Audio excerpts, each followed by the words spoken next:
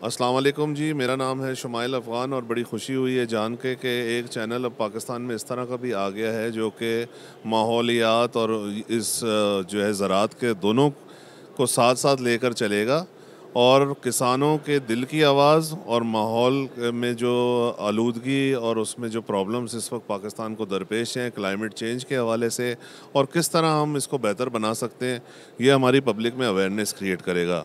So all the best to Green TV and uh, congratulations on your launch.